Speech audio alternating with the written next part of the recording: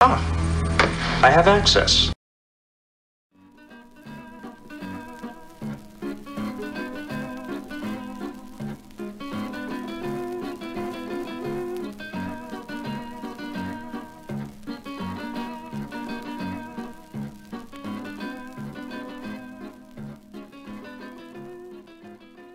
Good evening, everybody.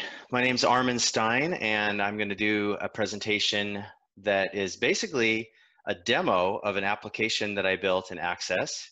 And uh, for those of you who are wondering, yes, I do have a company and I do have a team of people, and they do most of the programming, and they get a little worried when I code anything. But this was something that I did for my Rotary Club.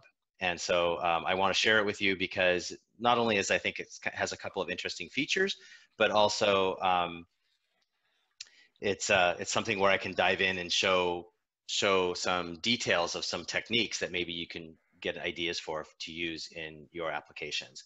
Um, I'm not, I want to say right up front that I'm not able to, I'm not going to be handing out the entire application. However, if you do see a technique or something where you go, oh, I want to be able to use that, then by all means, um, you can uh, let, you know get, send me an email and then I'll send you samples of the code. So that's what I'll say about that. Um, all right, so I'm going to go ahead and share my screen, and um, I think what I'm going to do actually is share my whole screen, and we'll see how that goes. Hopefully, I won't have too many interruptions of other things. Um, Okay, so everyone can see, I hope, rotisserie, the meeting scheduler slide. I'll assume you can. And um, also, I, I do welcome any questions as I go along. So if you, um, George, I don't know what the protocol is, but if you have, if, if anyone has a question as we go along, I, I don't really just like speaking into the void. So if anyone says, hey, Armen, can you explain a little bit more about that? Or you have a question, um, then just let me know. Just unmute yourself and let me know as we go. I think they hopefully they can do that, George. Okay, so let's get started. Um, this application is called Rotisserie, and uh, you can see there the logo. It's for my Rotary Club, um, Rotary Club of Bellevue, which is I think one of the larger Rotary clubs around the Seattle area. We have a total of probably almost 200 members, and um, the idea was that we wanted to be able, see if this is going to advance. Here was the problem. We wanted to be able to generate coffee meetings between Rotarians and just informal meetings just to kind of get to know them because our lunch meetings back before the virus, our lunch meetings were a group of maybe 100 to 120 people and you're at a big table of eight people and it's kind of hard to get to know people and really understand what their business is all about. The idea being that maybe if you knew something about your fellow rotarian that you could find you know refer business to them or they could refer business to you. Not that that's a primary purpose of rotary but the idea was that hey if you know somebody already then maybe there's an opportunity so the idea was to randomly assign meetings like build meetings of four people and there were some other criteria that were interesting. Uh, we had to, it, the system had to be able to choose a captain at random. So the captain is really just pick one of the four people and they will be the person that wrangles the other people to say, okay, let's meet at this coffee shop at this time. And just basically to have somebody be in charge. Because if you give four people the direction to go have a meeting, then nobody will take charge of it. Now, we also wanted to prevent people from meeting each other twice. So the idea was that if four people, let's say A, B, C, and D, met at a meeting and we recorded that they met, then we, we wanted to make sure that none of those pairs met each other again until it was necessary. Eventually, you run out of people that you haven't met but we wanted to keep going through and having meetings between new, unique people that had never met each other at one of these coffee meetings. So that was an interesting criteria. And then we also wanted to generate emails, which we, I'll show you how we did that. It's, most of you probably have generated emails and access, but in case you haven't, there's a couple little things I can show. Plus, there were some extra things, which I'll just mention. We wanted to be able to prevent everyone from having the same type of work. And my joke that I told to my Rotary Club is look, we want to make sure that there's not a coffee meeting with four lawyers on the meeting because nobody wants that. That's not a good situation. So we said, well, at least let's try to make sure that it's mixed up a little bit. And in Rotary, there's something called a classification. And the classification is basically kind of like the type of work you do. You know, you could be a personal financial advisor, you could be a real estate agent, you could be in computer software like I am, whatever. We have these classifications. And so we wanted to try to mix it up a little bit in these meetings and not accidentally have four people of the same type. Um, we wanted to make sure that everybody is participating every month, even if that means that some meetings aren't full. So you can imagine if you have 10 people, let's say, that need to meet with four person meetings, I'll make it super simple. You're going to have a meeting of four people, another meeting of four people, but then there's two leftovers. So we wanted to make sure that there, that everyone participated in a meeting, even if we had to back off on some meetings be the full four people and distribute people more evenly. So that had that math had to be in there. We also had to be able to suspend and reactivate people, but not just right now we wanted to be able to say, well, next month, George is going to be on vacation for six weeks. I'm giving you six weeks, George. You're welcome. Um, but after that six weeks, he wants to come back in and be reactivated again. So we have, so I put in automatic uh, deactivation and reactivation. And we also wanted, in certain cases, we have people in our database that are not members of our club, but they're members of other clubs, but they want to be able to meet members of our club. So they wanted to participate, but I didn't want to make them a captain because it's not fair to have someone from another club have to wrangle three other people from our club. So they had to be omitted as captains. So there was a lot of, of, of stuff like that. Oh, and then the bottom line is we are, my system assumes that you have met unless the captain just emails me and tells me otherwise.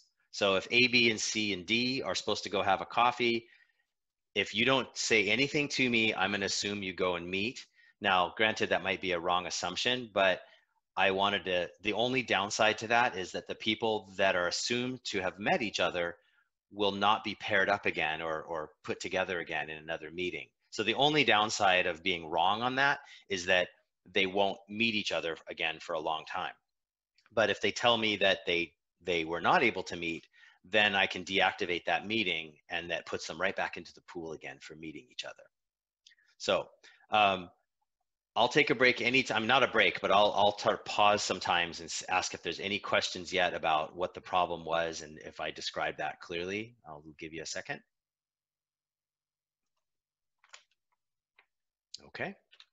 All right, so let's now let's talk about the math. Um, how many unique four-person meetings can you have if you have, say, and we have a bit more than this now, but let's say there was 120 people in this meeting pool. Well, my title of my presentation gave it away. It turns out that you can use Wolfram Alpha. If you've never looked at Wolfram Alpha, you should check it out. It's actually an amazing system. Um, it's not a search engine. It doesn't search for things. It computes things and it but it does use known data. So a weird thing you can ask Wolfram Alpha is like, what was the phase of the moon on a certain date in, you know, or or like eclipses or like the popularity of names like george if you want to see how your po- how popular your name is in the united states you can just type in george into wolfram alpha and it will calculate and show a graph of popularity and show how many people are alive in the United States right now with the name of George. It's pretty fascinating. But one of the things it does is math equations. So you can actually type in a math equation, and this is the equation which uses factorials.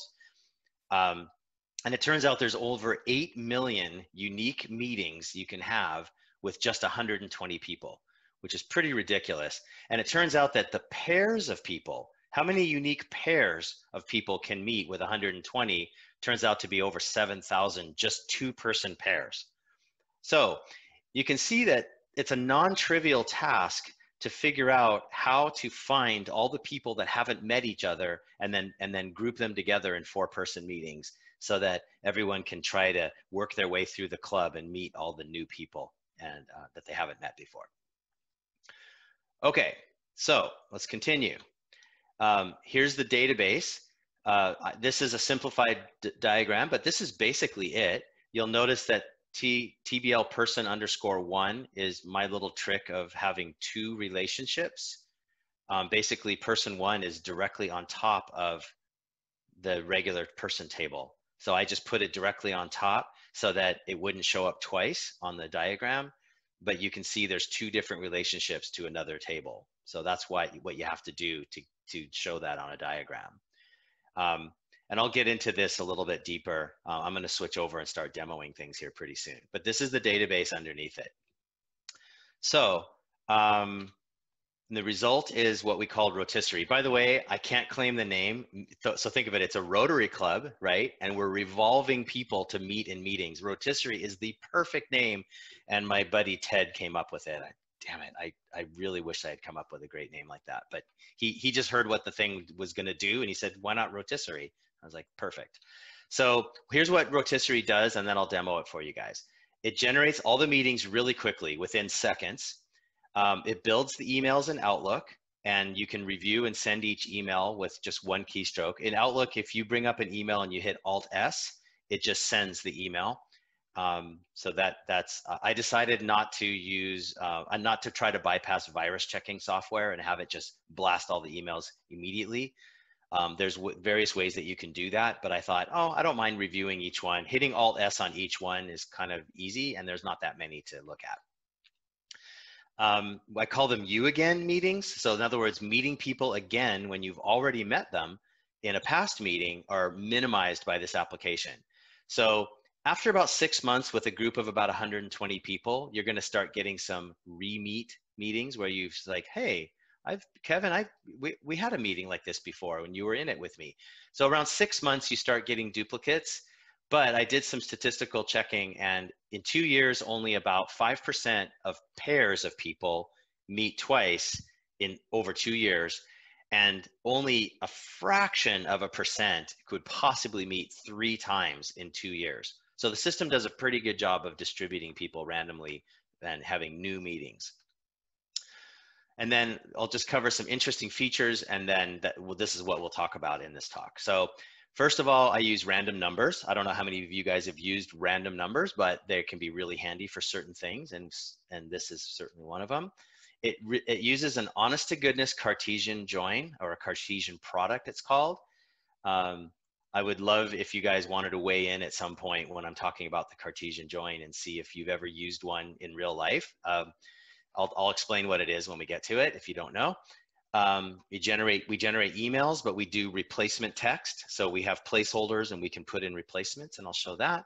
Um, we have a test mode for email, which is very important when you're testing software that emails. You don't really want to email people.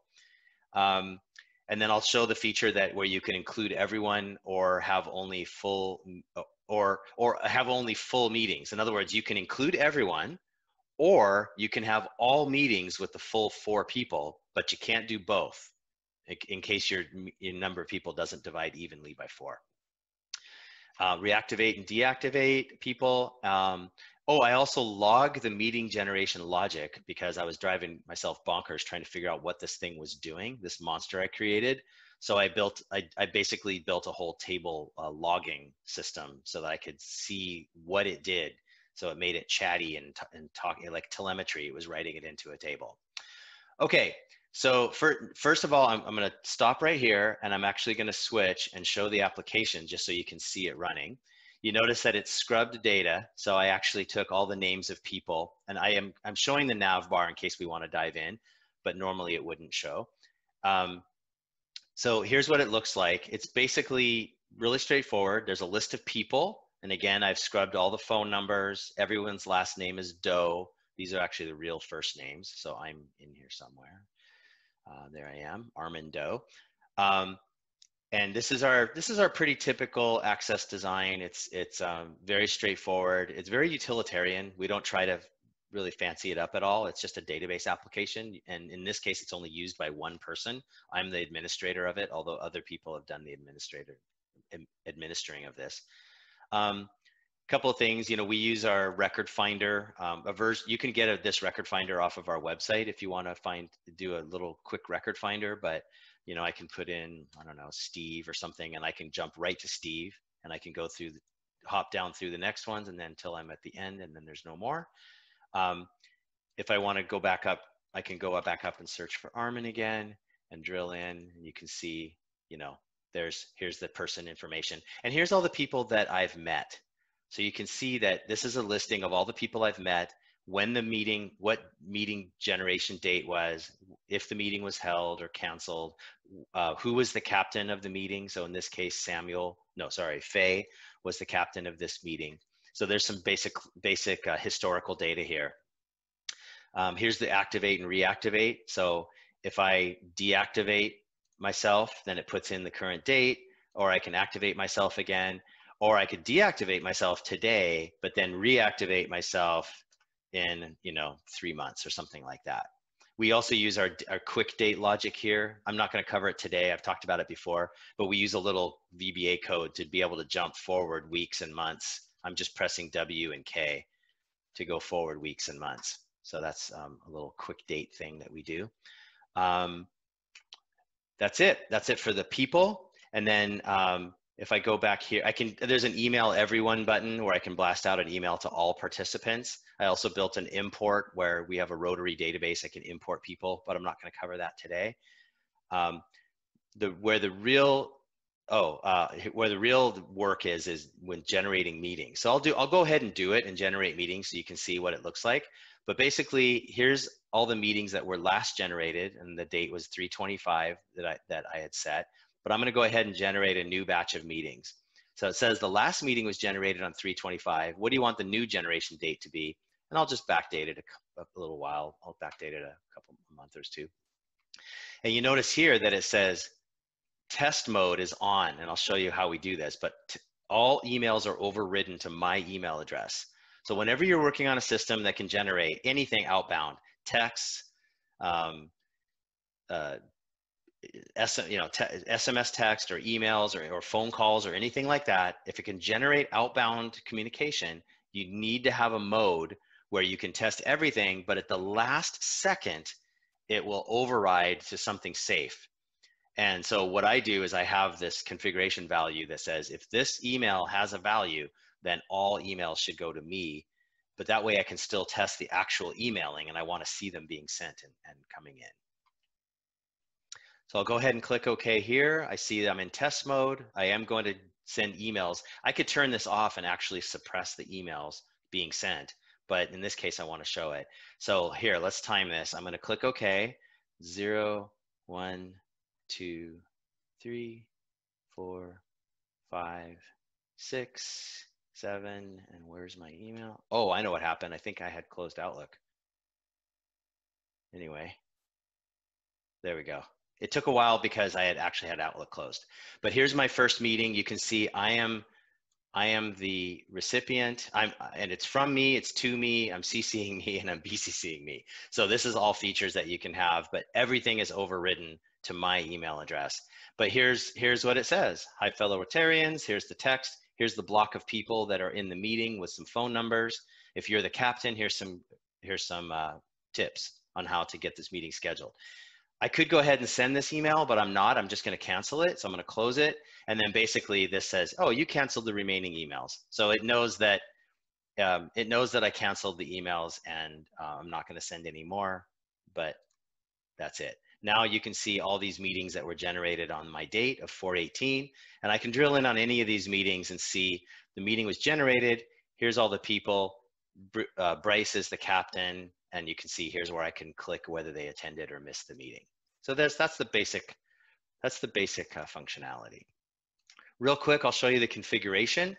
Um, we, we typically do a configuration panel like this that we call customize, and I can name my backend database here, which appears at the top of all my captions. And then um, here's the number of meet here's the number of people that should be in each meeting. So I have it set to four but this is variable. You could set this to three or five. Um, you know, the bigger you have a meeting, the higher the chances you're going to see the same person again because there's fewer um, meetings to spread people around in. And then here's the all important flag. Do you want to include everyone in the meeting? If yes, a few meetings will be reduced in size, and I'll talk about that a little later. But if no, a few people may not be invited to a meeting. So they might get a complex that they weren't, they didn't get an email this month or this week or what, however often you want to do these meetings.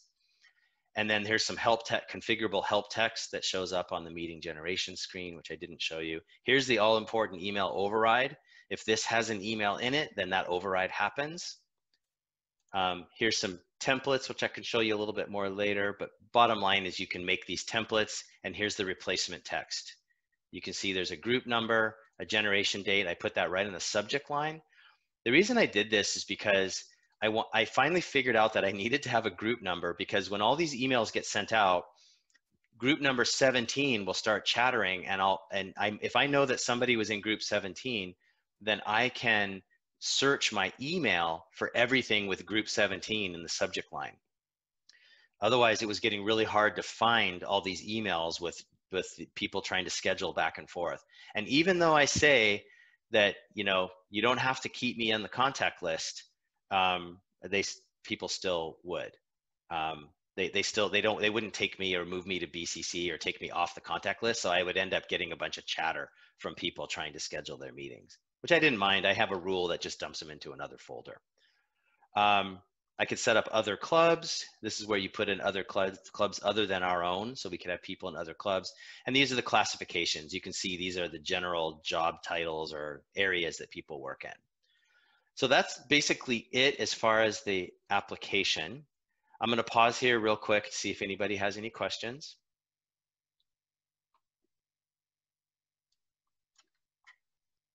Okay. Everybody's quiet this evening. All right. So um, let's go back over to the slides and I'll show some some of these interesting, or I think are interesting features one by one, and we'll just kind of see how, how we go here. Okay, the first of all was the Cartesian join. Um, a Cartesian product, it's called a Cartesian product or a Cartesian join. The reason it's called a product is because you're multiplying two things together. So it's the product of two things. A Cartesian product uh, query is basically a query that doesn't um, that multiplies all everything from one side by everything from the other side. So in a Cartesian product, if you had 10 records in one table and 10 records in another table, and you didn't specify a join criteria in them, in it, then you would get 100 records because you would get every record paired with every other record. And usually that's a mistake. If you make a query and you accidentally get a Cartesian join on two tables where you didn't expect it, what you end up with lot is lots of duplicates. And you look at it and you go, what the heck? What happened? Well, it's possible to put two tables into a query and have no line between them. If you have no line, you're getting a Cartesian product. So if you grab fields from this table and this table, you're going to get all of these multiplied by all of these, and you get a lot of extra records. But a Cartesian product can be useful sometimes. So in this case, let's, I do have a table that's called um, a person, the, the meeting person table, and it has a meeting key, let's say of one, and these four people were in that meeting, A, B, C, and D. So what I really want though is for my own internal computations of who's met whom, I didn't want to have to constantly parse this and figure out whether somebody's met somebody else when I did my calculations. I want it to just take a second or two. So what I ended up deciding is that I want to have a table that looks like this. I really want, for meeting one, I really want a record where Adam met Becky and Carl and Denise, but Becky met Adam and Carl and Denise. You see, it's the combination of all of them. So four records becomes um, 12. So that is the multiplication effect. Now, the reason four records didn't become 16 is because I suppressed Adam meeting Adam because I don't need to know that someone meets themselves. I just want them to know what to know when someone met someone else. So these records are stored under the covers. So if we go back, um, I don't, you know what? I think it'll be helpful. I'll go right back and I'll show the database design again. Again, this is the person meeting where meeting one has Adam and meeting one also has Carl, but I really wanted this table. This table says for meeting one, person one and two were on that meeting. and I wanted to have it both directions. I wanted to be able to look in person one and see if they'd ever met person two. And I didn't want to have to go backwards and do a union query and go back and see if maybe they were in column two. I thought, you know what, it's not that much storage. I'm just gonna put it all in one table. So that's, that's why this table here is completely generated automatically by the system. It's refreshed every time this table here changes. So when I, when every, when anytime this table gets something happen to it, there's queries that refresh this table down here so that I get my, my flattened out, I get this lower table right here. This really helps me later when I'm going to figure out who's met whom and I can, I can um, calculate these new meetings. So the way it looks is like this. This is the Cartesian product, and I'm just going to point to a few things. I don't expect you to parse this whole thing and understand it. It would take me the rest of the meeting probably to go through it line by line, but I did highlight the interesting things. So first of all, the person meeting I talked about, you know, the one that said, here's the meeting, and then here's the four people. This is the table, TXRF person meeting, and notice I'm joining it with itself. So this is not only just a Cartesian product, it's a Cartesian product with a self join. I'm joining that table with another copy of that, not a copy, but that table with that table. So what ends up happening is I, I would get the product of all of them times all of them, but then what I do is I narrow it down. I say, well, wait a minute, I actually want to match on the same meeting. So I match the meeting key. So I do have a line between those two tables, but it's only on the meeting key you notice that there's no there's there's no other join on person or anything like that. It's just the person meeting keys are being joined together, which means that the person keys, you know, the four people, they're all going to get multiplied together. Everyone times everyone, except down here. Don't match them with themselves. So I have a where condition where I say, if the person, just make sure the person key from the first, this table is different from the person key from the other table. Now the other table is the same table, so don't, don't freak out. It's, they're both the same table, but I'm saying match, you know, Adam with Becky or whatever her name was, but but don't match Adam with Adam because that's the same key. I can exclude that one. And I also put some other flags down here where, you know, make sure they actually didn't miss the meeting and the meeting wasn't canceled and all that. But this query here in one fell swoop generates the 12 records into the other table. And so I have a, when I run this update query, sorry, this, uh, there's a query that appends all those records. It just slams them all into the lower table and it does them all in, at one shot. So this is a real case in the wild. I'd be curious if anyone else has used Cartesian product queries in real life. They are handy sometimes. Um, uh, one of the ways I've heard of before, one example I've heard of Cartesian products is when you need multi, you need X number of copies of an invoice. Like let's say you're going to print an invoice and you need three copies of it to come out all in a row. Um, you can you can build an uh, an invoice copy table with the three records. You could call it like customer copy, store copy, and file copy. And you could Cartesian product your invoice, your invoices with that table, but without a join, and you'll end up with each of the three types. Kevin, you unmuted. Do you have an example? Um, yeah, I was trying to think back years ago. Uh, I used a Cartesian product for a client that was buying and selling natural gas. Hmm. And I'm trying to remember the details, but basically, uh, they did a lot of stuff where you'd buy gas for the winter months or the summer months and you got kind of different rates. So I had a big, you know, table of months and anytime we wanted to add something, I just would use a Cartesian product and you have to be very careful to make sure you're filtering for the right range of months. Oh yeah. But oh yeah. Instead of like iterating through and saying, oh, here's all the months I have to add, I could just run one basically a pen query of a Cartesian product, but you've got to be very, very strategic. Yeah. And that's why this one is really narrowed down. But yeah, I know what you're saying. If you said, hey, I want to get a record into a table but for all 12 months, let's say in your example, or some, some certain combination of those, you could Cartesian product your thing that you want to do with a table of 12 months. And then you, your output will be 12 different versions. And you can use the month number or name from that table. It's just like a normal join. It's just yeah. that there's no line between. In my case, my I do have a one line. I do have the line between the meeting nut key, but I let the persons. Um, so this is like a partial Cartesian product. It's like it's only multiplying out people. So yeah. Mm-hmm. Uh, I use Cartesian joins also in append queries, the insert into, because I'll have a list of students and a list of uh, essentially classes or orientation sessions that they have to attend. And we keep track of okay. whether or not they attended all their sessions to assess whether they completed orientation.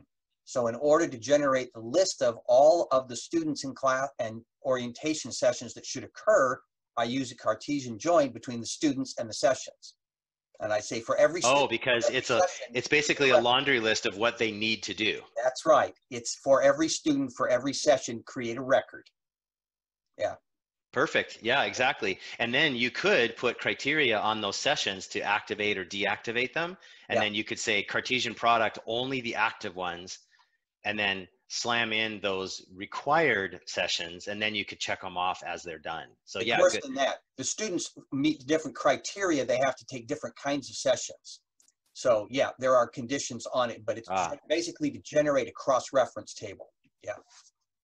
Yeah, and in all these in all these cases mine that i have here and kevin's and yours tim they're all as they're all basically a way to not have to write looping code and just laboriously go through all the records and write them out. So these are ways that in just one beautiful statement it just slams the records you need and um, and is very efficient. So that's great. Thank you.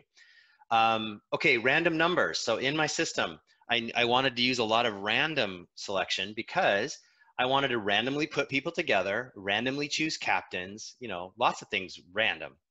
So what I decided to do was I preload a work table with all the active people. So when, when I generate a meeting, when I say I'm going to generate a meeting, uh, a bunch of meetings with people, I basically take all the people who are currently active and load them into a work table with columns that I'm going to use later, but they start off as null, like whether they're going to be a captain, whether they're going to be um, whether which meeting ID they ended up with. So basically, think of it as a pool of people that need to meet, but they're just an empty list except for their pe person keys.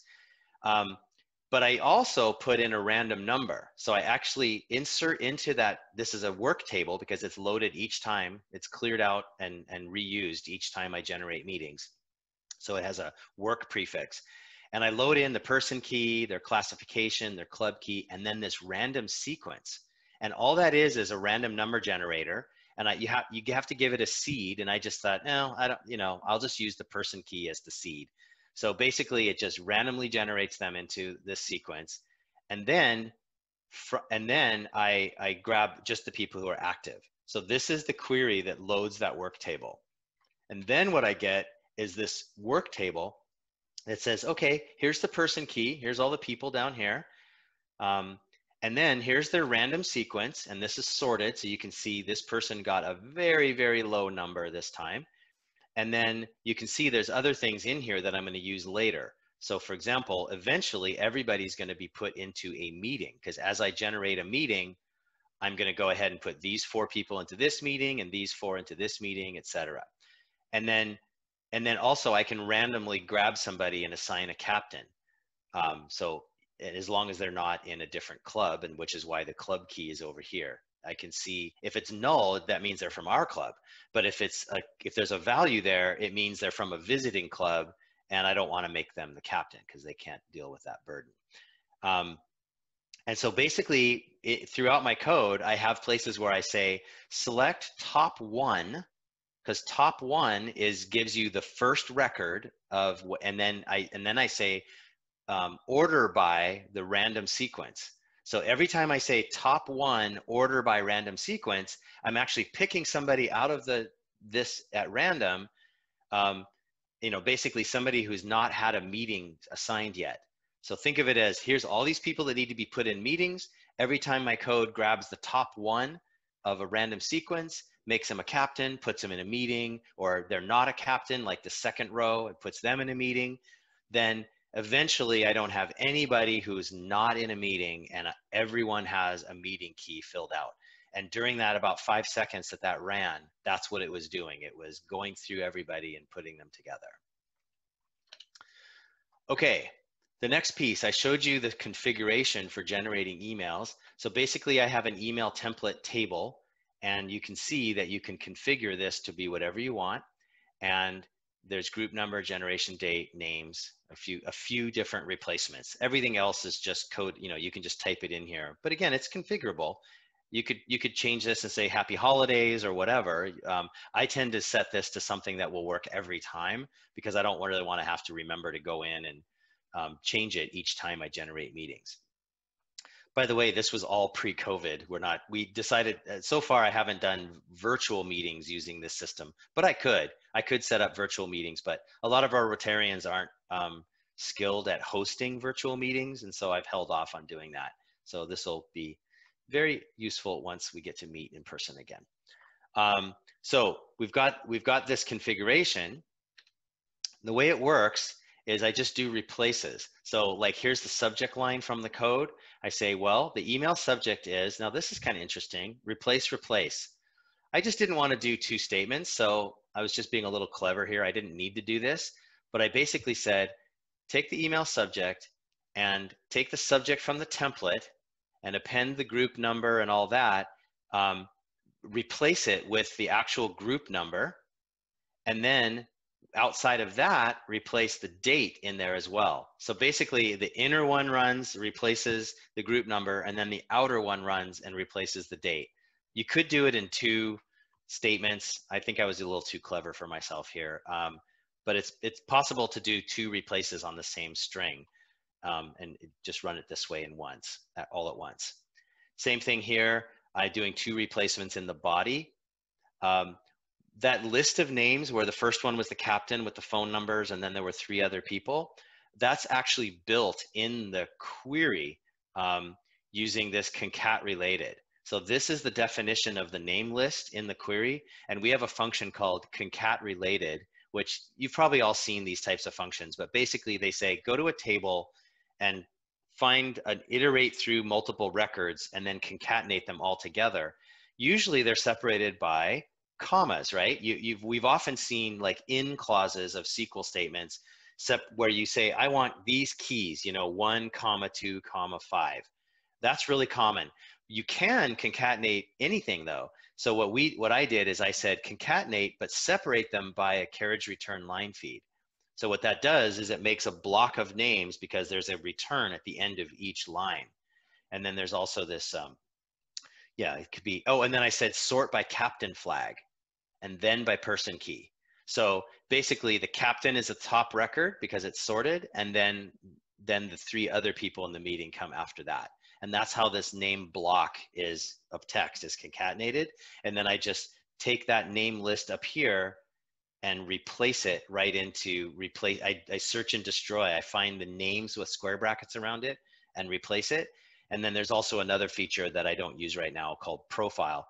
And I take the profiles of everybody profiles is basically when you send out somebody an, e an email list to say, hey, um, Adam, you're going to meet Becky. Profiles is a, a, way of saying Adam is the president of blah, blah, blah company and just a quick like little bio, a little blurb about them. But I haven't enabled that yet because I haven't gotten the bios from everyone yet. But there's a possibility of including per people's personal bios or profiles in each meeting notice.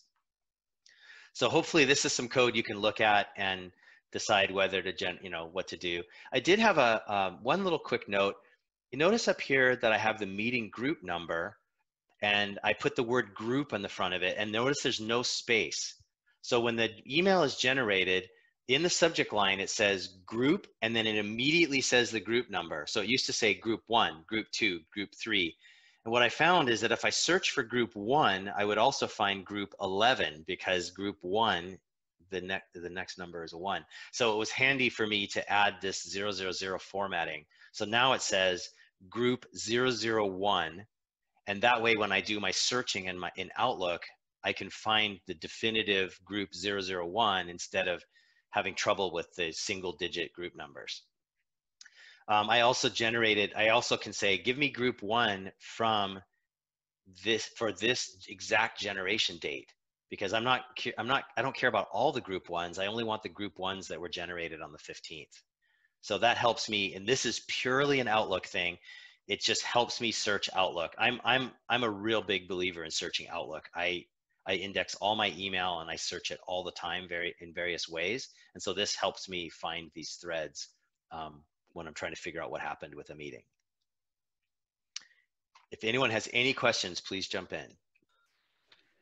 Uh, yes, Kevin. Kevin put a question into chat. It says, yes, please, George. Thank you. Yes, when picking captains, do you do anything to increase or decrease their chance of being picked as captain based on how many times they've been captain in the past? That is a great question. And I thought about doing that and I decided not to. Um, it's just luck of the draw. Um, but yeah, it, it, it is something that I thought about if I could, if someone's just by bad luck is constantly being chosen as a captain. But no, for right now, it's just random. I didn't, I didn't decrease their odds based on that. It's a good question. Um, Armen, the, uh, yes. um, the, the slide with the selections, if, going back to your original example, if you had 10, if you only had 10 people and you were setting up meetings of four, it, it looks to me as though you would end up with one group of four and two groups of three. Or do you actually, would you actually end up with four, four and two? Ah, I, I would end up with the threes and I'll, I'll show that code. Good question and hold that thought because I'm moving toward that. Okay. Yep. Yep. And, and in fact, it, in fact, it's uh, there's, there's something, there's, there's a math function that I'm coming up to that I don't believe, I don't remember using before. And it was uh, really, it was really easy. Um, but yes, I'm coming to that. So thank you. Um, oh, here's the override. So notice that if I have something in the email override field, which I showed you guys in the config, then right down here, it says, okay, you're about ready to go through the work meeting table until end of file. I'm gonna loop through and blast out each of these emails, but at the very last second, I swap in the override address if there is one. So you see here, if the override address is not equal to an empty string, then I'm gonna, I'm gonna blast it out. Um, otherwise, I'm gonna go to um, the real emails here um, from, from the work table, this email list. So, because uh, what I do is I concatenate the email list of the four participants. I concatenate them separated by semicolons, just like Outlook wants them. So normally I would put that down here, but if I have the override, it puts it there. I strongly recommend that any system you do that blasts it out has something like this, and but yet you still want to generate the emails because that's part of testing. So at the last second, you need to do an override like this. And this is right, I don't show the whole code, but this is basically right before the uh, send object. Okay, now we're getting into your question. Include everyone or full meetings. I actually had to whiteboard this out in my office. I was like trying to puzzle over, what am I actually doing here? And I, actually, that's a common thought of mine. What am I doing? Um, but in this case, specifically, uh, what I tried to was trying to figure out is if a group doesn't, if this group of people doesn't cleanly divide, choose whether or not to include everyone by having some smaller meetings. So in our club, we decided that we always wanted everyone included on each round. So we turn this flag on. So what I'm gonna do is I'm gonna just, I'm not gonna walk you through all this code, but basically what we're doing is we're getting, is everyone included? And if true, we'll make sure everyone gets into a meeting. And here's how we do it. The only way you can do this is you have to create one extra meeting. So you need one more meeting than you would have had and you reduce the size of the last few meetings by one person each. So just like you said, you have all the meetings have four people except for the last few, and the few is where it really counts. That's how I had to calculate that. So it turned, and of course, this is variable up here, it's four. So I had to do math where it's like, no matter how big your meeting size is, I need to cleanly be able to create several meeting, one or more meetings at the end that were a bit smaller so that everyone would be included. So this is where mod came in. Now, mod, it's there. I can't tell you how few times I've used the mod function, but mod is basically a math function that says if you divide two numbers, the leftover is mod. So if you take 10 divided by, if you say 10 divided by 4, you'd think, well, that's 2 point something, right?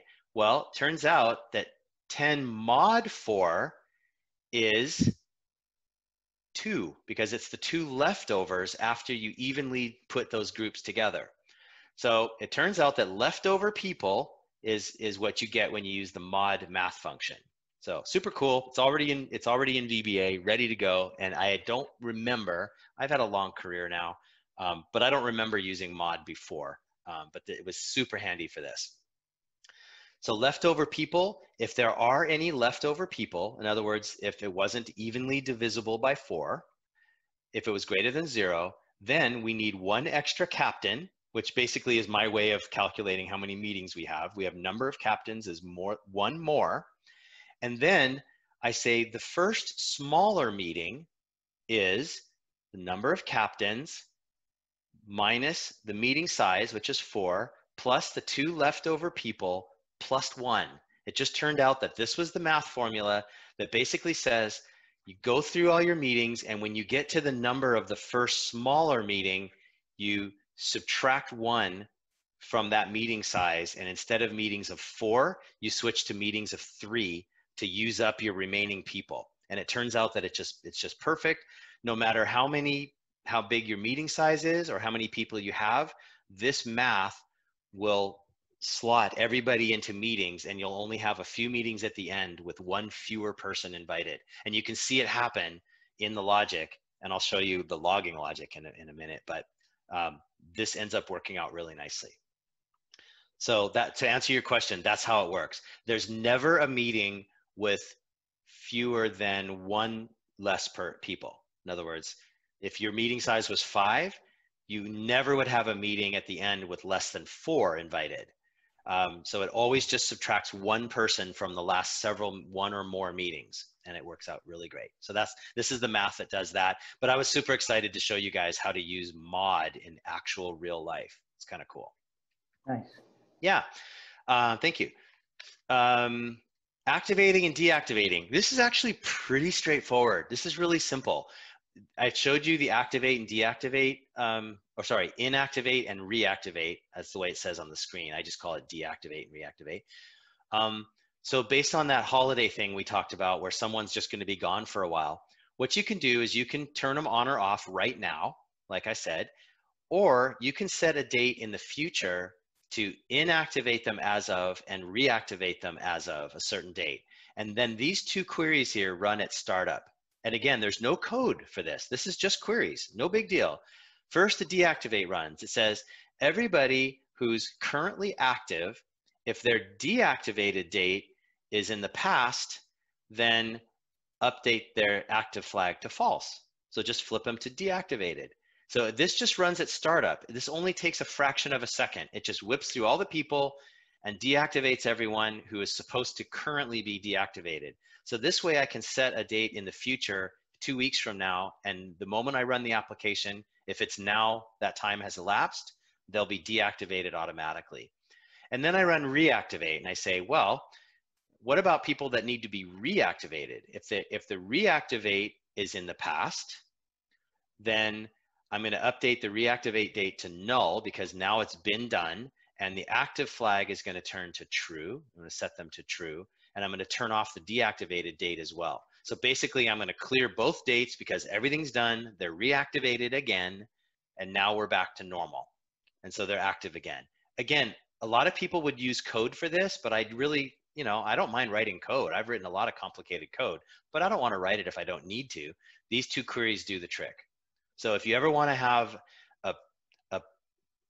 a schedulable activate or deactivate, this is a, the kind of thing you can do, and it actually works really slick.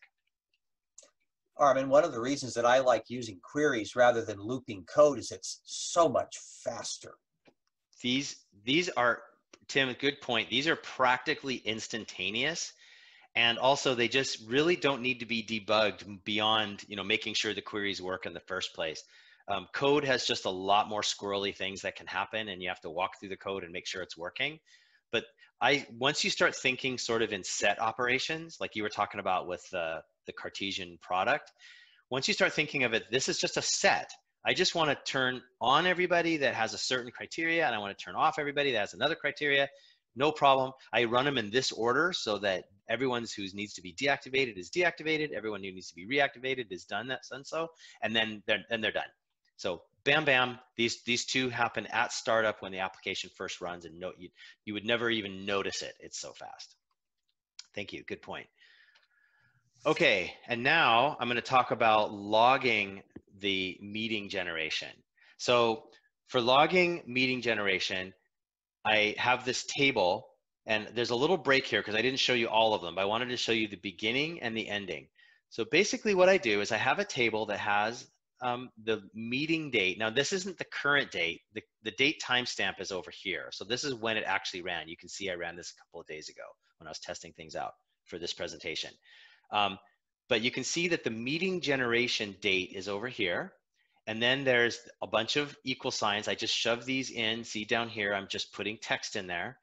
And I say, okay, meeting generation for this date started at this exact time. And now I just, this is just me talking to myself. This is just code. I call it telemetry. I really like the word telemetry. It's just basically it's data about the thing you're doing users would never see this. They don't need to. And notice that it's not really friendly. These are all just keys. So basically, this meeting generation started. And then basically, one at the very next second, you know, fraction of a second later, it was 51 seconds. Um, it says, oh, captain key 393. I've chosen a captain. Meeting key is 1079. How many people are available? and the reason there are fewer is because probably um, with a different I, I always try to find somebody with a different job type like different classification so that's why the availability jumps up and down because i'm trying to find people with a different classification so i go through here i do this i look at available people and then i added okay i found a person again this is all random so i found a random person and then they had a different classification. So I put this text in the telemetry so I can see. And then the next one is added, the next one, and finally, um, now this one is odd because there's only three people in that meeting. I'm not sure. I don't know. I, would have to look at this deeper of why the telemetry records for all four people aren't here. But um, they might have been farther down um, because I was adding more people later. But the bottom line is these people added, and the, the, the point is that there's telemetry here. This was so helpful when I was debugging my code because there's one thing you can do is you can step through your code and try to figure it out. But there's the other thing is just let it run and then have a logging system where you can measure all this. And you notice down here, these I started off with lots of people. And then eventually I get down to the point where I start running out of people. And finally, I say one extra meeting was added, and the last two meetings were reduced to three people in order to include everyone. So you can see I'm, I'm, I'm only talking to myself. I mean, this no human's going to have to look at this normally. But I just said, I just was basically saying, here's what happened. There were two, um, there were there were leftovers so I that didn't divide evenly. So it reminded me that okay, that's why the last few meetings, had, the last two meetings were reduced. So that basically there were um, a couple of leftover people that had to be um, mixed in with the other meetings. And then meeting generation completed at this time, and then I and I put my elapsed time in there because I wanted to see my performance. So you remember when I first ran this at the, for this presentation, it, I counted up to about five or six. Well, there you go. It took six seconds. And then here's the here, here's what I would say is kind of nice to do for the logging is at the very beginning I put in a start time so that way I, I have a start time logged and then I say log text and then I just concatenate all this stuff together. Meeting, you can see it's the same as this first row. Meeting generation, what's the generation date? It started at a certain time and then I execute and I insert into and then I add the log date, the text, and then the meeting generation date and put it basically concatenate it all in there. So I, I put that all in and then I just run this little type of line, not the now, because that only happens once, but I, I do these two lines throughout my code. So everywhere where something interesting happens, where I, I make a decision or I do something like add someone to a meeting, I just put in all these telemetry lines and, and, uh, and tracked it all through the code. So I guess my, my point to everyone on the call and everyone listening in the future is this is the kind of thing that can stop you from just going batty. Because if you have something complicated that's iterating through setting breakpoints and stepping through your code is fantastic and i definitely did that as well. But there's something really nice about having a log file or a log table like this that you can go and look at. And i go ahead and let this accumulate um, i could put logic in the system that says you know anything older than a year just truncate it you know delete anything older than a year um, I don't think I bothered yet because it doesn't it doesn't get that big. Um, but certainly you could put in code that auto clears old entries um, after a certain amount of time because you don't need them anymore. So that is log gen uh, generating a telemetry log. In case anyone has questions, go ahead and ask. Norman, I just wanted to ask you, are you a member of this Rotary? Yes. Well, a lot of credit to you for doing something non-trivial for little profit. Uh, yeah, and thank you for saying little profit because it was zero profit. Um, but yeah, thank you. No, this was an interesting one. Um, I just decided to take this on. Uh, a little bit of the background. They were trying to do this. Uh, the previous coordinator of this uh, committee that to get people to meet each other was trying to do it with an Excel spreadsheet, and it was impossible. If you think about Excel, you're thinking, okay, well, there's these list of people, and then which meetings have they participated in? And they were trying to keep track of it with rows and columns in excel. And i just said that's just unwieldy. That, that i don't think that's even possible for a human to do that um, just by keeping track of it in excel. And so i said you know what? I'll just build a database. And um, it took me a little longer than i thought but actually it was kind of fun. And um, it got me back to my roots because i like i said in the beginning of the this meeting i, I don't really code that much anymore um, I help people with code. I look at code. I help I help troubleshoot, but I usually don't sit down and close my door and really code. And so a few years ago when I did this, um, it was actually a lot of fun. And actually, um, right before COVID hit, uh, there was one or two other Rotary clubs that were interested in using it as well. And so um, there's one other club for sure that wants to use it, and so I'm gonna uh, just give it to them, and they can use it as well. So that's kind of fun. We'll see if it see if it expands. So yeah, thank you for mentioning that. Um, that is the end of my slides. I'm totally, and it looks like I've taken about the hour, about an hour. Um, I am open to any other questions or discussions, and we can go back and zoom in. And I also I can certainly flip back over, and we can dive into areas that you're interested in if anyone has anyone has the desire. So I'm open for questions. I'll just add one more thing because I just turned my mic on. Uh, I had good experience uh, to find out for myself that SQL statements, if you can do them, are just way more, magnitudes more efficient than the looping code. I had a client in Boston with uh, who would import 50 to 100,000 records once a month, and they had to be sliced and diced. The previous programmer had done it with code, looping code, the usual stuff. Ran 18, 18 minutes to do the whole thing each month. Wow. That was actually acceptable, but I decided I would try to uh, figure out if, if SQL statements, 32 SQL statements would work make a long story short, eight, uh, 20 minutes uh, with no, with, you know, set warnings off even, uh, was reduced to 18 seconds. 32 steps replicated with the exact same results. Amazing. 20 minutes, yeah. 20 minutes versus 18 seconds. That's what you get with what, what, what we say with queries. It's, it's a set based operation instead of, a, instead of an individual record based operation. So when you can do an entire set of things like the Cartesian product, like um, just uh, the activate and deactivate, it just happens like that because that's what Access is optimized for. It does, you don't tell it how to do it. You just say, this is what I want. Yep. This is what I want on every record that looks like this. So it's so automated. Yeah. A lot of people who know programming um, dive right into the code right away and they, they sort of skip over the fact that this could be done as a query, uh, as an action query. Yeah, um, and they're, they're really missing out. So um, I, I, sometimes think that being very good at programming is a detriment to database design and database development. I'll tell my wife. You want to you want to jump to code all the time. Yeah. Any other questions or comments?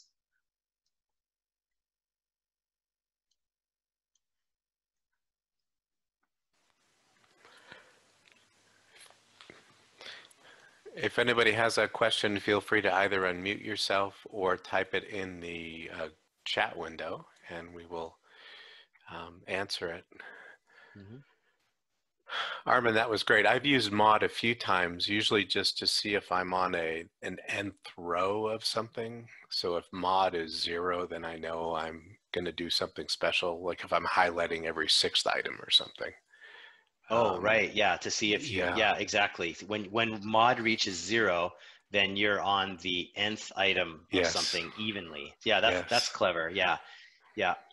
I mean, you could do that with odd, just even, you could just do it with odd and even too. You could just divide by two Yes. and get, and guess, just get alternating rows.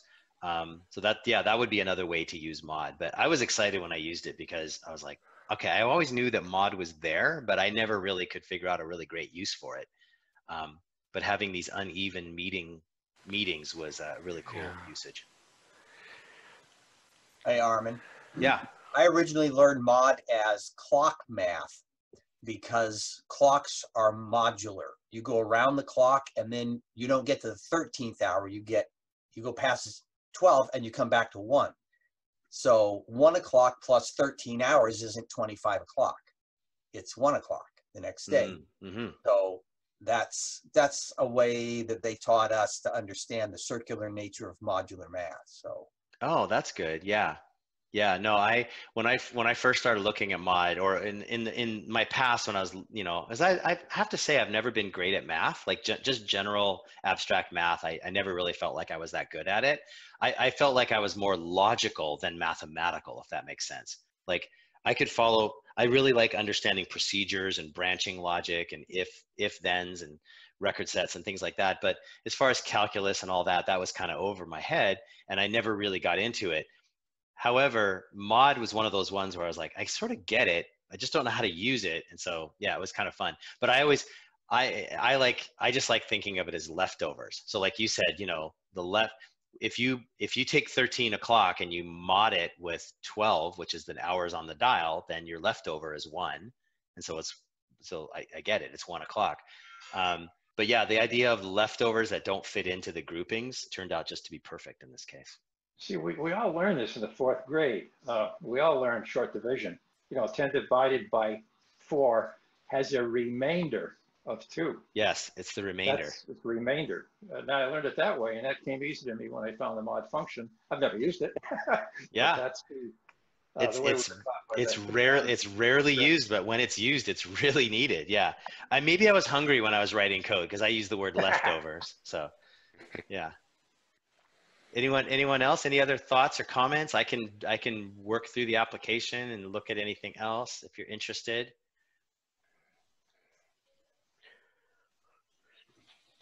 Armen, I know you mentioned you had some sample code or or um, uh, shared code that you share on your website. Could you, um, Yeah. would you be able to pull that up and show where people could go for those?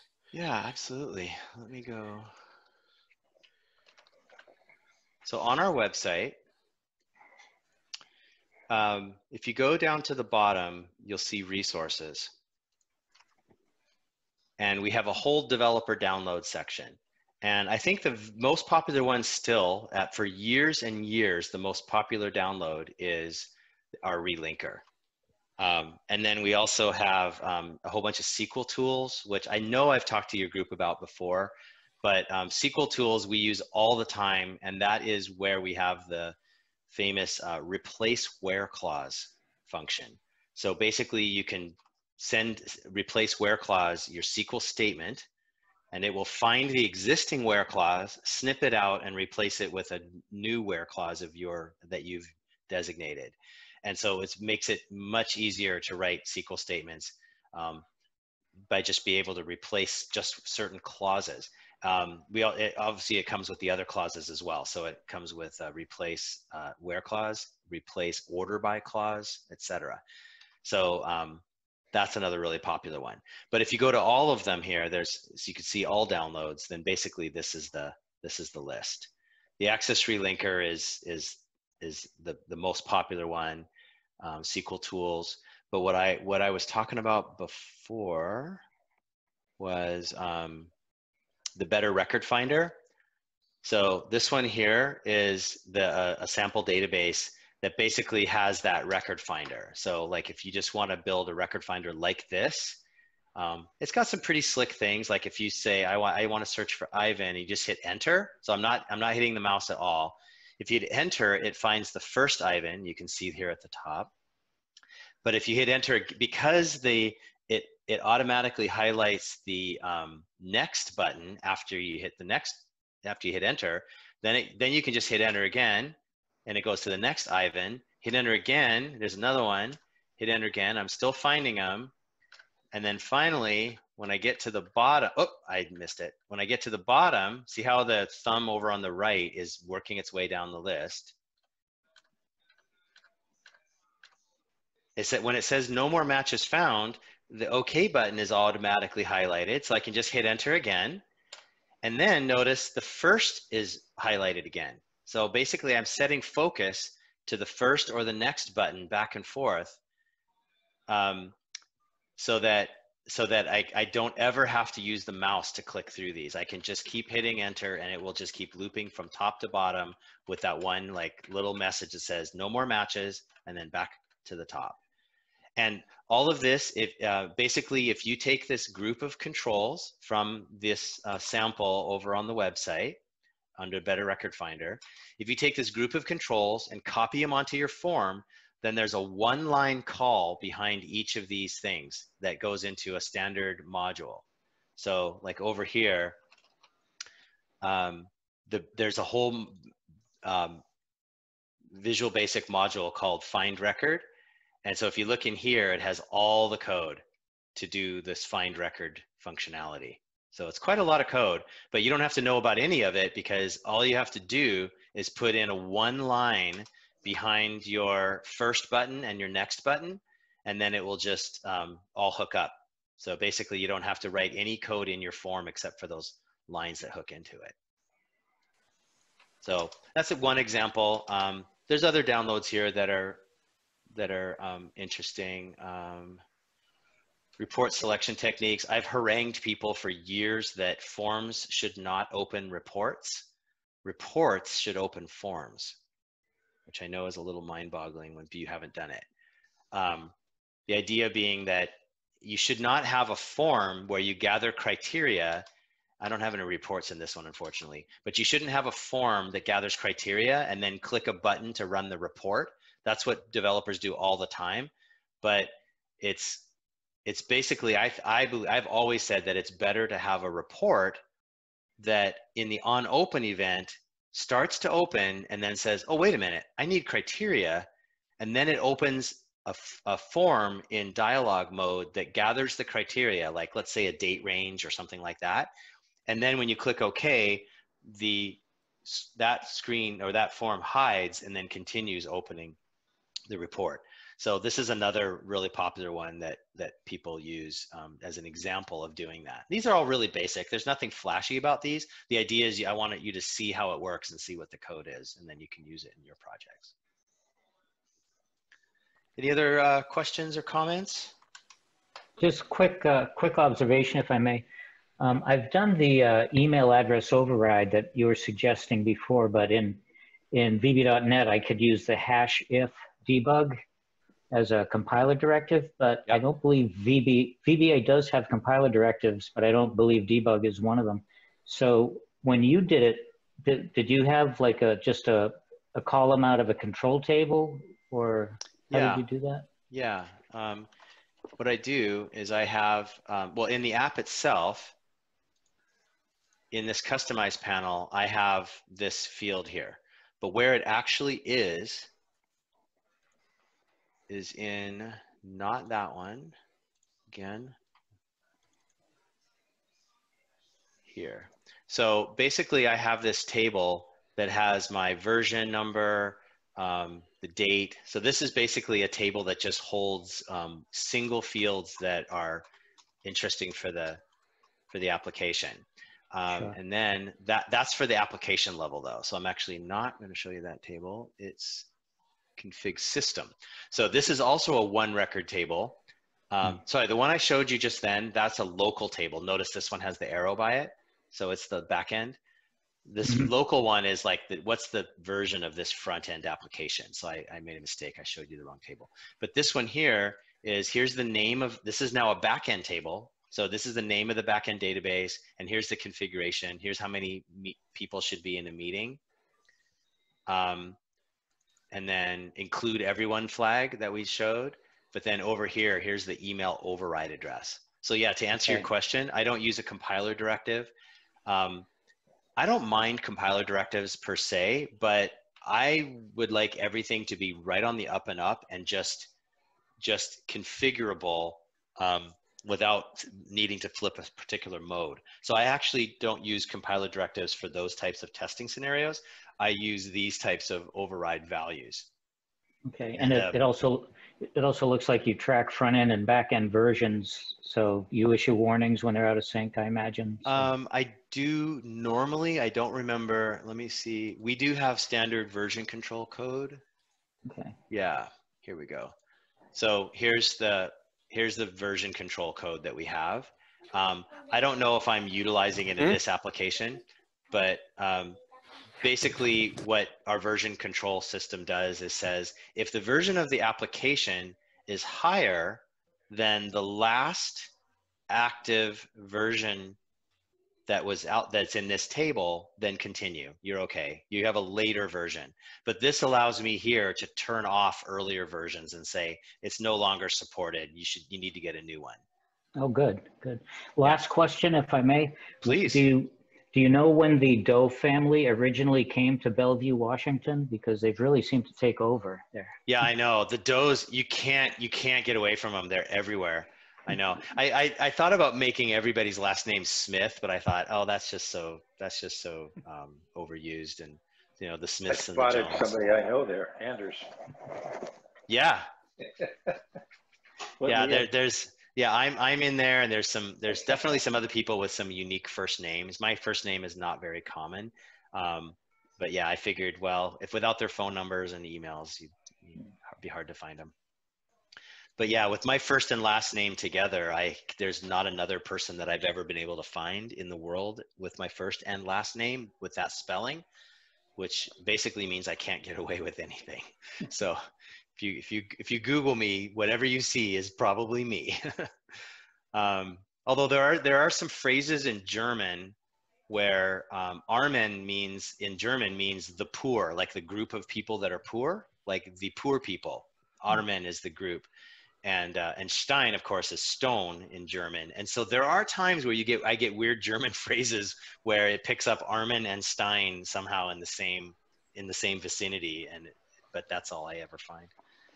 Um, what other what other um, that was a good question about that customization for the um, for the uh, override email. The other one I always like to do is this one here, this um, naming the backend database.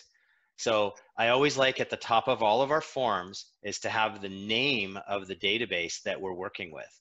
So this is the name of the application and then BRC scrubbed, this is Bellevue Rotary Club. Bellevue Rotary Club scrubbed is the name of the backend database and it's stored in the backend because I just showed it to you in the config table. And this is really handy when you want to switch backends. So this is our relinking code that I, like I said, is very popular. But if I switch back ends, I can switch to a different copy of the database. And, um, you know, like I can switch to this one and it switches the links and oh, it still says scrubbed. I guess it was a copy. But the bottom line is if you switch back ends to a different one, it'll change the, the title up at the top to the name of it. Here I can switch to um, do, do, do, BRC test and now it switches to test. So it basically, it, I really like showing the user which database they're hooked up to at any time. And that's a nice way to do it is just stick the name of the database, anything you want, but just stick it in that backend configuration table and then pull it up and put it in the caption of these uh, forms. Armen, what are you doing for security, user level security? Well, user level security is deprecated, so we're not doing that anymore. Um, something. well, we for could do what?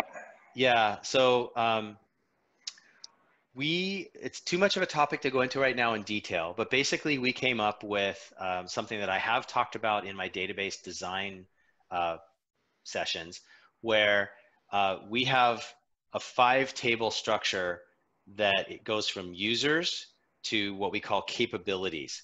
Hmm. And the capability is think of it as a permission and that is a static value that is just a static list of, of capabilities or permissions in a table Same as a role?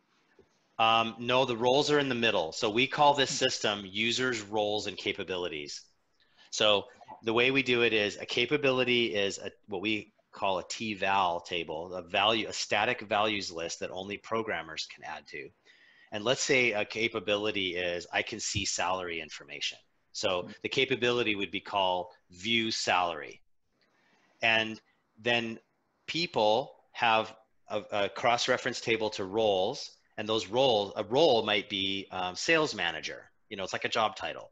So um, George is a sales manager. So he has the sales manager role as one of his roles. And then a role is a basket of capabilities that you that the user can configure. So you could say a sales manager has the capability in a cross-reference table of view salary. Does that make sense? Yeah.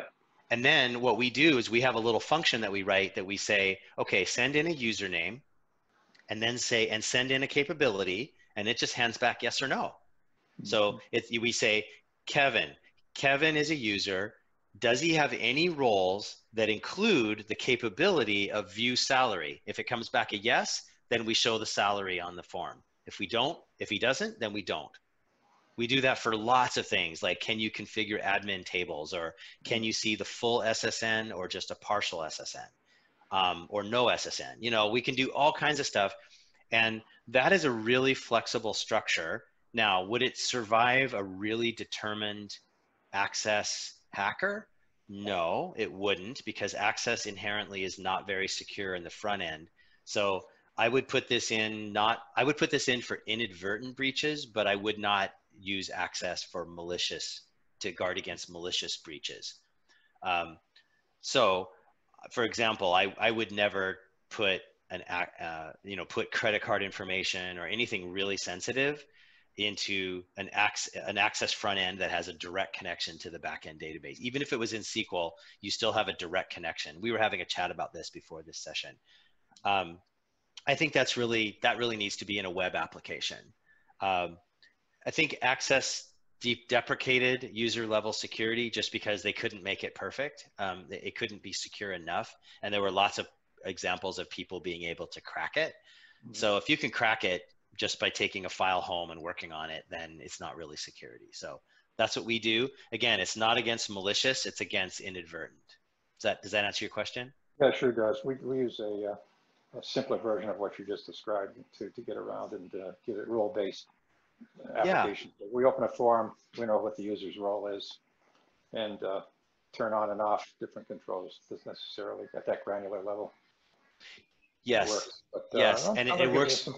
Yeah, it works great. The reason we did um, this user roles and capabilities um, is that we wanted to give our users, the, ability, the admin users, the ability to make their own baskets of capabilities. We didn't want to have them, oh. like in other words, we didn't want to say, well, is this available only for admins or which level? You know, you know, a lot of people do concentric rings. Like if you're this group, you can only read data, but if you're in this group or like a higher, like a hierarchy, if you're level mm-hmm. one, you can do this. If you're level two, you can do that. But that's too rigid because the the customer always ends up coming up with some combination that we didn't think of. And you know they'll say, well, but we want the sales manager to do some of these things, but that guy can't know people's salaries. You know, um, we go, oh well, we only had a level that included knowing salaries and these other things, and they're like, well, that's not good enough. So we decided to do is get out of the business so basically, we just have all these capabilities as atomic. I mean, they're all granular level, and the users can set up roles with anyone's any basket of capabilities they like, and that just gets us out of the business of figuring out which levels have which capabilities or permissions. Well, that's good. I usually scare them with money because the more granularity, the more roles they throw at me, like uh, quality control and receiving. oh, yeah. uh, It requires more code and more code. I usually scare them that way. yeah. Or they say, well, yeah, we need it. uh, And fine. I know, but, uh, yeah, and and we do, and you know, i we can argue that anyone, any of us that work by the hour, you know, you could say, well, you know, it just takes more hours, that's more revenue, and that's fine. But I, I always tell our clients that I would rather build this once and then give the keys to you, and then you can maintain it. And yes, that takes revenue out of my pocket this moment in case you need changes. But I'd rather work on something more interesting, like Sure. new features, not going back and fiddling with the system the way it was. So At least you have to go in and train them how to use it a little bit, so there's some billable time there. yeah, But I and usually uh, ask, ask at that point when the money comes up, the money question comes up, how much is this going to cost? I said, how many roles are you going to give me? Um, Basically, I'll ask the question back, do you trust your people? Okay, And then it Yeah. becomes a training issue that don't, don't go in this form that you're not supposed to be in, but. yeah, doesn't- and that's why I say it's inadvertent. I just don't want people like just walking through the system and saying, "Oh, this looks interesting." Right. You know, I want to go yeah. in there. So um, the the the way we do it is like, yes, a determined, knowledgeable access developer could get in there and um, figure out what to do and get to things they shouldn't. But that would be in the malicious camp, and I always Well, we just tell to- people, Right, we know how to lock certain things down, like turn off the ribbon, leave it, leave it off. And Yep. the navigation pane and make sure they're going through the menu systems in and out. Yes, That's training, but, uh, you know, somebody will read a book someday and find out, oh, F, F11, what does that do? Hmm, Interesting. Yeah, and you can turn that here? off too, and you can disable Yeah. the bypass key, the shift key. Yeah. Yeah. And you can also, from if you're a good coder, you can go in from another database and re-enable the bypass key from the outside. Hmm. So you know, there's always a workaround to various Right. things. So that's why I always say, look, if you you need to trust your people, they're not going to be able to do something accidentally, but Yeah. I'm not going to be able to block a malicious user. So don't think of it in Not those government terms. level security. Yeah. Yeah. So what I so what we always do, and we are a data we are a web development shop as well. So we do both access and web applications. And so whenever when, whenever I ask questions about security, whenever they say, "Oh, you know, we're going to have well." Uh, I mean, HIPAA data, that's a whole different thing, medical data. But let's say we have sensitive personnel data or uh, anything that's sensitive. I say, okay, well, then we're really now starting to talk about a web application because that we can make um, much more secure because the web application does not have a direct connection to the database. There's a middle tier.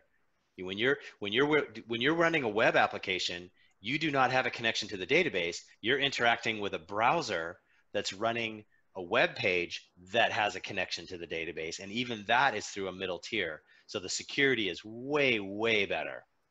So that's what I tell people. But for a lot of things, access is perfectly fine because you don't have the worry of malicious users. You only have the inadvertent problems. Hey, Dave, what did I tell you? He's, he's smart, he's articulate, and he's good looking. Any other questions or uh, or flattering comments? That's awesome. Keep it up. Maybe we can convince Armen to come back next year and talk about access security. Yeah. Oh yeah, I was about, I was about to say two out of three is not bad. yeah. Thanks, thanks, Kevin. Love you too, man.